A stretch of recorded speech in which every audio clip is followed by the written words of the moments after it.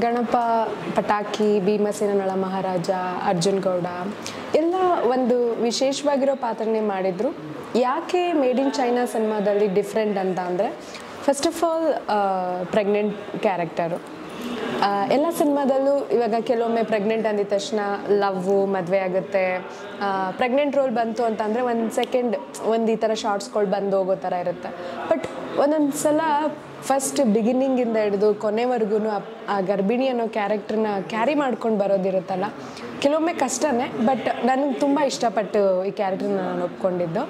And virtual base movie ನಿಮ್ಮೆಲ್ರಿಗೂ ಗೊತ್ತಿರೋಂಗೆ ನಮ್ಮ ಕನ್ನಡದಲ್ಲಿ ಮೊದಲನೇ ಬಾರಿ ವರ್ಚುವಲ್ ಸಿನಿಮಾ ಮಾಡ್ತಾ ಇದ್ದೀವಿ.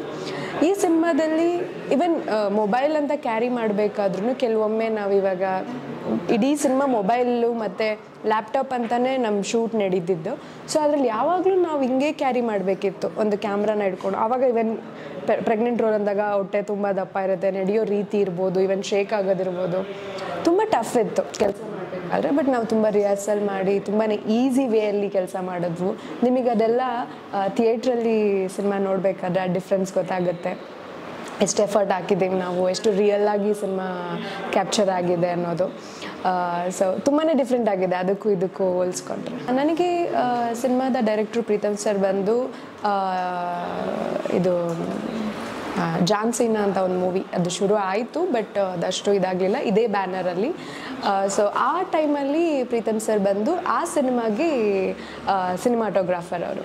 ಸೊ ಆವಾಗಿಂದ ನಮ್ದು ಒಳ್ಳೆ ಸ್ನೇಹ ಇತ್ತು ಪ್ರೀತಮ್ ಸರ್ ಜೊತೆ. ಸೊ ಸರ್, ನಾನು ಬಿ ಅವಾಗ ತಾನೇ ಬಿಗ್ ಬಾಸಿಂದ ಹೊರಗೆ ಬಂದೆ. ಆ ಟೈಮಲ್ಲಿ ಪ್ರಿಯಾಂಕಾ, ನಾನು ಹೊಸ ಸಿನಿಮಾ ಡಿರೆಕ್ಷನ್ ಮಾಡ್ತಾ ಇದ್ದೀನಿ ಅಂದಾಗ ನಾನು, ಓ ನೈ ಸರ್ ಹೇಗೆ ಡಿ ಒ ಪಿಯಿಂದ ಡಿರೆಕ್ಷನ್ ಅಂತ ಅನ್, ಕೇಳಬೇಕಾದ್ರೆ ಒಂದು ಒಂದು ಲೈನ್ ನಿಮಗೆ ಹೇಳ್ಬೇಕು ನಾನು ಬಂದು ಕತೆ ಕೇಳಿ ಅಂತ ಅಂದರು. ಶೋರ್ ಅಂತ ಅಂದು ನಾನು ಆಫೀಸಿಗೆ ಬಂದು ಕತೆ ಕೇಳಿದಾಗ ಫಸ್ಟ್ ನನಗಿಷ್ಟ ಆಗಿದೆ ಆ ರೋಲ್ ಆ ಪಾತ್ರ, ಅಂದರೆ ಗರ್ಭಿಣಿ ಕ್ಯಾರೆಕ್ಟರ್ ಸೊ ಅದು ಹೇಳ್ಬೇಕಾದ್ರೆ ವರ್ಚುವಲ್ ಈ ಥರ ಬೇಸ್ ಪ್ರಿಯಾ, ನೀನು ಇಂಗ್ಲೀಷು ಮತ್ತು ರೀಸೆಂಟಾಗಿ ಮಲಯಾಳಂ ಈ ಥರ ಸಿ ಯು ಸೂನ್ ಆ ಥರ ಮೂವಿ ಎಲ್ಲ ಬಂದಿದೆಯಲ್ಲ, ಆ ಟೈಪಲ್ಲಿರುತ್ತೆ ಮೂವಿ ಅಂತ ಅಂದರು ಓಕೆ ಯಾಕೆಂತಂದರೆ ನನ್ನ ಮೈಂಡ್ ಥಾಟಲ್ಲೂ ಯಾವಾಗಲೂ ಒಂದು ವಿಶೇಷವಾಗಿರೋ ಸಿನಿಮಾ ಒಂದು ವಿಶೇಷವಾಗಿರೋ ಪಾತ್ರ, ಜನಕ್ಕೆ ಡಿಫ್ರೆಂಟಾಗಿರೋ ಒಂದು ಎಂಟರ್ಟೈನ್ಮೆಂಟ್ ಕೊಡೋದಿರ್ಬೋದು. ನಾನು ಸ್ವಲ್ಪ ಅದ್ರ ಬಗ್ಗೆ ತುಂಬ ಯೋಚನೆ ಮಾಡ್ತೀನಿ. ಕ್ಯಾರೆಕ್ಟ್ರ್ ಬಗ್ಗೆ ತುಂಬಾ ಪ್ಲ್ಯಾನ್ ಮಾಡ್ತೀನಿ ನಾನು.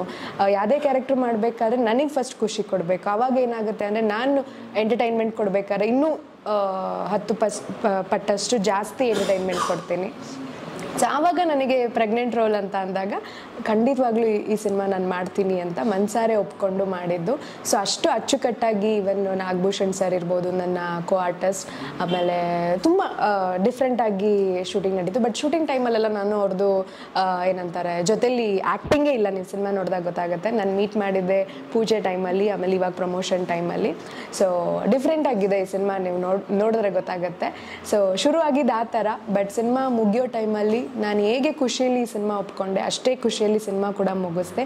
ಇವಾಗ ಪ್ರಮೋಷನ್ ಮಾಡಿಕೊಂಡು ನಿಮ್ಮ ಮುಂದೆ ತಲುಪಬೇಕಾದ್ರೂ ನಾನು ತುಂಬಾ ಖುಷಿಯಿಂದ ಹೇಳ್ತಾ ಇದ್ದೀನಿ. ಬಿಕಾಸ್ ಒಂದೊಂದು ಸಲ ಡಿಫ್ರೆಂಟ್ ಡಿಫ್ರೆಂಟ್ ಸಿನಿಮಾ ಅಂತ ಬಂದಾಗ ಪ್ರೊಡ್ಯೂಸರ್ಸ್ಗಳು ತುಂಬ ಯೋಚನೆ ಮಾಡ್ತಾರೆ. ಬಿಕಾಸ್ ಬಿಸ್ನೆಸ್ ವೈಸ್ ಇರ್ಬೋದು, ಹೇಗಾಗುತ್ತೆ, ಅದು ಇವತ್ತಿನ ಸಿಚುಯೇಷನ್ ಟೈಮಲ್ಲಿ ಅಂಥದ್ರಲ್ಲಿ ನಮ್ಮ ಎನ್ ಕೆ ಸ್ಟುಡಿಯೋ ಪ್ರೊಡಕ್ಷನ್ ಅವರು ನಂದಕಿಶೋರ್ ಅವರು ಈ ಥರ ಒಂದು ಸಿನಿಮಾ ವರ್ಚುವಲ್ ಮೂವಿಗೆ ಹಣ ಹಾಕಿರೋದು ಇನ್ನೂ ದೊಡ್ಡ ವಿಷಯನೇ. ಸೊ ಅವರೆಲ್ರಿಗೂ ಒಳ್ಳೇದಾಗಬೇಕು ಈ ಸಿನಿಮಾ ಮೂಲಕ. ಪ್ರತಿಯೊಬ್ಬರು ಒಂದು ಡಿಫ್ರೆಂಟಾಗಿ ಒಂದು ಮನಸ್ಸಲ್ಲಿ ಯಾವುದೇ ರೀತಿ ಬೇರೆ ಉದ್ದೇಶ ಇಲ್ಲದೆ ಒಂದು ಡಿಫ್ರೆಂಟ್ ಆಗಿ ಒಂದು ಎಂಟರ್ಟೈನ್ಮೆಂಟ್ ಕೊಡ್ಬೇಕು ಅನ್ನೋದಷ್ಟೇ ನಮ್ಮ ಸಿನಿಮಾ ತಂಡದ ಒಂದು ಇದು. ಸೊ ನಾನು ದಯವಿಟ್ಟು ಥಿಯೇಟ್ರಿಗೆ ಸಿನಿಮಾ ಬಂದು ನೋಡಿದ್ರೆ ನಮಗೂ ಖುಷಿ ಆಗುತ್ತೆ, ನಿಮಗೂ ಒಂದು ಪಕ್ಕಾ ಎಂಟರ್ಟೈನ್ಮೆಂಟ್ ಸಿನಿಮಾ ಆಗುತ್ತೆ. ನಾನು ಆ್ಯಕ್ಚುಲಿ ತುಂಬ ಪ್ರಿಪ್ರೇಷನ್ ಮಾಡಿಕೊಂಡೆ ಬಿಕಾಸ್ ಆ ಒಂದು, ಏನಂತಾರೆ ಟಮ್ಮಿ ಪಿಲ್ಲೋ ಹಾಕ್ಕೊಳ್ಳೋದೇ ಸ್ವಲ್ಪ ಕಷ್ಟ. ಯಾಕೆಂದರೆ ನೀಟಾಗಿ ಹಾಕ್ಕೊಂಡ್ರೆ ಒಂದು ಹೊಟ್ಟೆ ರೌಂಡಾಗಿ ಕಾಣಿಸೋದಿರ್ಬೋದು, ಇಲ್ಲ ಫೇಕಾಗಿ ಕಾಣಿಸೋದಿರ್ಬೋದು, ಎಲ್ಲ ಗೊತ್ತಾಗ್ಬಿಡುತ್ತೆ.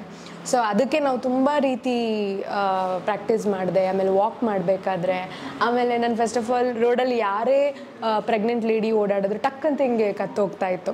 ಅಯ್ಯೋ, ಎಷ್ಟು ಚೆನ್ನಾಗಿದೆ ಅಲ್ಲ ಎಷ್ಟು ನಿಧಾನಕ್ಕೆ ವಾಕ್ ಮಾಡ್ತಾರೆ. ಆಮೇಲೆ ಅವ್ರನ್ನ ಟೇಕ್ ಕೇರ್ ಮಾಡ್ಕೊಳಕ್ಕೆ ಒಬ್ರು ಜೊತೇಲಿ ಇರ್ತಾರೆ. ಅವ್ರು ಏನೇ ಒಂದು ಒಂದು ಬ್ಯಾಗ್ ಕ್ಯಾರಿ ಮಾಡ್ಬೇಕಾದ್ರೂ ಅವ್ರು ನಡೆಯೋ ರೀತಿ ಚೇಂಜ್ ಇರುತ್ತೆ. ಅದೆಲ್ಲ ಅಬ್ಸರ್ವ್ ಮಾಡ್ತಾ ಇದ್ದೆ.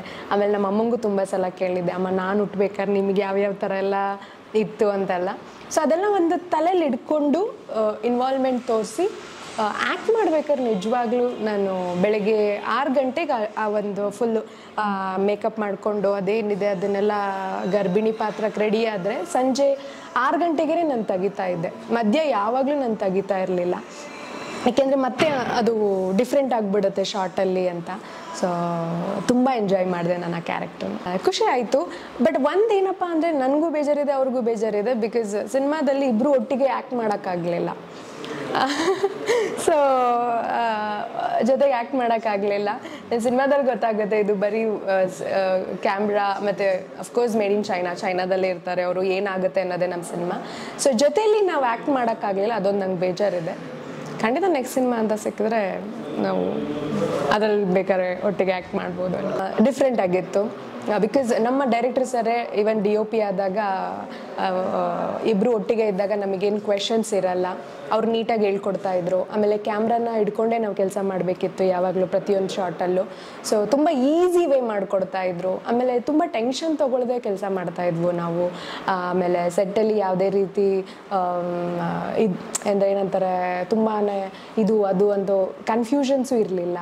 ಸೊ ಇಷ್ಟು ಬೇಗ ಮುಗೀತಾ ಅಂದರೆ, ಓ, ಇಷ್ಟು ಬೇಗ ಮುಗ್ದೋಯ್ತಾ, ಇಷ್ಟು ಬೇಗ ಶಾರ್ಟ್ಸ್ ಇದಾಯ್ತಾ, ಇಷ್ಟು ಬೇಗ ಸೀನ್ ಮುಗೀತಾ ಅಂತಲೇ ನಾವು ಕೆಲಸ ಮಾಡಿದ್ವು. ಖುಷಿ ಇತ್ತು ನನಗೆ ಸಿನಿಮಾ ಮೇಡ್ ಇನ್ ಚೈನಾ ಸಿನಿಮಾನ ಆದಷ್ಟು ಯಾಕೆ ಜನಕ್ಕೆ ಸ್ವಲ್ಪ ಜನಕ್ಕೆ ಜಾಸ್ತಿ ಅನ್ನೋದಕ್ಕಿಂತ ತುಂಬಾ ಹತ್ರ ಆಗುತ್ತೆ. ಈ ಒಂದು ಮೈತಲಿ ನನ್ನ ಕ್ಯಾರೆಕ್ಟರ್ ಇರ್ಬೋದು, ನನ್ನ ಹಸ್ಬೆಂಡ್ ಪಾತ್ರ ಮಾಡಿರೋ ಕ್ಯಾರೆಕ್ಟರ್ ಇರ್ಬೋದು, ಸ್ನೇಹಿತರು ಪಾತ್ರ ಇರ್ಬೋದು, ನನ್ನ ತಂದೆ ತಾಯಿ ನನ್ನ ತಮ್ಮ, ಇವ್ರದ್ದೆಲ್ಲ ಪಾತ್ರ ಏನಕ್ಕೆ ಜನಕ್ಕಷ್ಟು ಹತ್ರ ಆಗುತ್ತೆ ಅಂತ ಅಂದರೆ ನೀವು ನೋಡ್ದಂಗೆ twenty twenty twenty twenty one ಟೈಮಲ್ಲಿ ಕೋವಿಡು ಆಮೇಲೆ ಲಾಕ್ಡೌನು ಈ ಥರ ಶುರು ಆಯಿತು ಅಂದಾಗ ಪ್ರತಿಯೊಂದು ಮನೇಲೂ ಒಂದೊಂದು ಒಂದೊಂದು ಪ್ರಾಬ್ಲಮ್ ಇರ್ತಿತ್ತು ಇನ್ಕ್ಲೂಡಿಂಗ್ ನನ್ನ ಮನೇಲೂ ಕೆಲವೊಂದು ಸಮಸ್ಯೆಗಳು. ಸೊ ಆ ಸಮಸ್ಯೆಗಳನ್ನ ನೀವು, ನಿಮ್ಮನ್ನು ನೀವು ನೋಡ್ಕೊಳ್ಳೋಕ್ಕೆ ಆ ಕ್ಷಣ ನಾವು ನೋಡ್ಕೊಳ್ಳೋಕ್ಕಾಗಲ್ಲ. ಮೂವ್ ಆಗ್ಬಿಟ್ಟಿರ್ತೀವಿ. ಥಿಯೇಟ್ರಲ್ಲಿ ನೋಡಬೇಕಾದ್ರೆ ಪ್ರತಿಯೊಬ್ಬರಿಗೂ ಒಂದು ಕ್ಷಣ, ಓ, ನನಗೂ ನನ್ನ ಮನೇಲಿ ಈ ಥರದೊಂದು ಪ್ರಾಬ್ಲಮ್ ಆಯಿತು ಅಂತ ನೀವು ನೆನೆಸ್ಕೊಂಡೇ ನೆನೆಸ್ಕೊಳ್ತೀರಾ? ಸೊ ಅದನ್ನು ನಾವು ರಿಯಲಿಸ್ಟಿಕ್ ಆಗಿ ಥಿಯೇಟ್ರ್ ಮುಂದೆ ನಾವು ತರ್ತಾ ಇದ್ದೀವಿ ಒಂದು ಲಾಕ್ಡೌನ್ ಸಿಚುಯೇಷನ್ ತುಂಬ ಎಕ್ಸೈಟ್ ಆಗಿದ್ದೀನಿ ನಾನು. ಬಿಕಾಸ್ ಮೊದಲನೇದಾಗಿ ಹೇಳ್ದಂಗೆ ಇದೊಂದು ವರ್ಚುವಲ್ ಮೂವಿ ಸೊ ಇದನ್ನು ಜನ ಹೇಗೆ ಅಕ್ಸೆಪ್ಟ್ ಮಾಡ್ತಾರೆ? ಖಂಡಿತವಾಗ್ಲೂ ಈ ಸಿನಿಮಾನ ಏನಾರು ಅಕ್ಸೆಪ್ಟ್ ಮಾಡಿದ್ರೆ ಇನ್ನೂ ಹೊಸ ಹೊಸ ಪ್ರತಿಭೆ, ಹೊಸ ಹೊಸ ಥಾಟ್ಗಳಿಗೆ ನಾವು ದಾರಿ ಮಾಡಿಕೊಟ್ಟಂಗಾಗುತ್ತೆ ಈ ಸಿನಿಮಾ ಮೂಲಕ. ಸೊ ಆದಷ್ಟು ಜನ ಇಷ್ಟಪಡ್ತಾರೆ ಅನ್ನೋ ಹೋಪಲ್ಲೇ ನಾವು ಸಿನಿಮಾನ ತಲುಪಿಸ್ತಾ ಇದ್ದೀವಿ. ಸೊ ದಯವಿಟ್ಟು ಮಿಸ್ ಮಾಡಿದೆ. ಇದೇ ಕಮ್ಮಿಂಗ್ ಫ್ರೈಡೆ ಸೆವೆಂಟೀನ್ತ್ ಮೂವಿ ಥಿಯೇಟ್ರಿಗೆ ಬರ್ತಾ ಇದೆ. ಸೊ ನಿಯರ್ ನಿಮ್ಮ ಸುತ್ತಮುತ್ತ ಇರೋ ಥಿಯೇಟ್ರಿಗೆ ಹೋಗಿ ವಿಸಿಟ್ ಮಾಡಿ ನೀವು ಅಲ್ದೇ ನಿಮ್ಮ ಸ್ನೇಹಿತರು ನಿಮ್ಮ ಫ್ಯಾಮಿಲಿ ಎಲ್ಲರ ಜೊತೆ ಕುತ್ಕೊಂಡು ಸಿನಿಮಾ